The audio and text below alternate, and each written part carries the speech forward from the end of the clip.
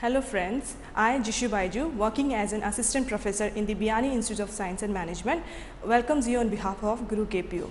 Today I am going to deliver a lecture on the topic of adrenal gland. Adrenal glands comes under endocrine glands. There are two types of glands mainly present in our body that is exocrine gland and the endocrine gland. Exocrine glands are those glands which secrete their hormones into the duct and reaches to the target cells. Example salivary gland, sweat glands. But in endocrine glands the hormones are secreted directly into the bloodstreams. The adrenal glands comes under endocrine glands. Adrenal glands are uh, also known as suprarenal glands. There are two adrenal glands are present on the top of the two kidneys which are present in our body. Uh, they, they are 4 centimeter long and 3 centimeter thick. Uh, the right adrenal gland is having the triangular shape and the left adrenal gland is having a semilunar shape. Each adrenal gland is having two distinct structures that is adrenal cortex and the adrenal medulla.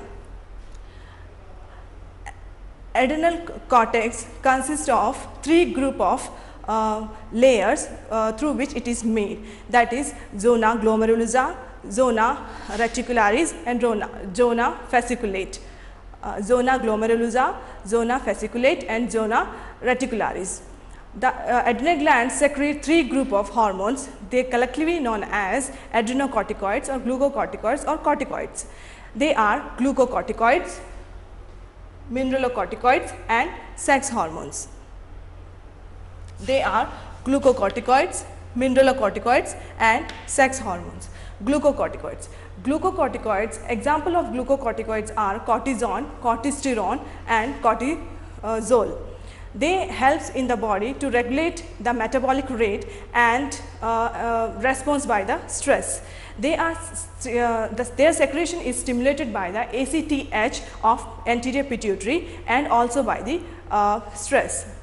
Now, they uh, helps in uh, different functions like glucogenesis that is formation of new proteins and lipolysis that is breakdown of triglyceride acid into fatty acid. Now, next absorption of water and sodium mm, stimulating breakdown of protein.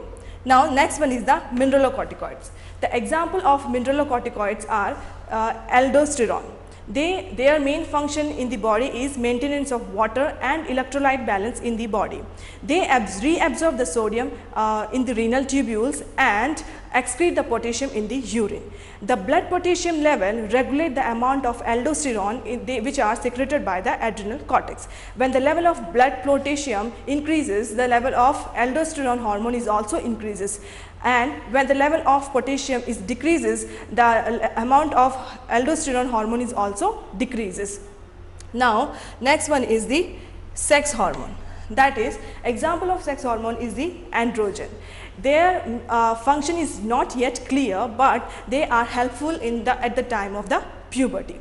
This is, this is about the first part of the adrenal gland. Now, let us see the adrenal medulla which is the second part. Adrenal medulla secretes two hormones that is adrenaline and noradrenaline. They are also known as epinephrine and norepinephrine. They both are neurotransmitters which are synthesized or stimulated by the sympathetic nervous system of autonomic nervous system. So, adrenal, noradrenaline is a postganglionic neurotransmitter uh, which is uh, postganglionic neurotransmitters uh, synthesized or stimulated by the sympathetic nervous system they both, these both hormones combinedly uh, do the functions or give the responses like increase the heart rate, increase the BP or uh, increase the metabolic rate or absorption of water and sodium.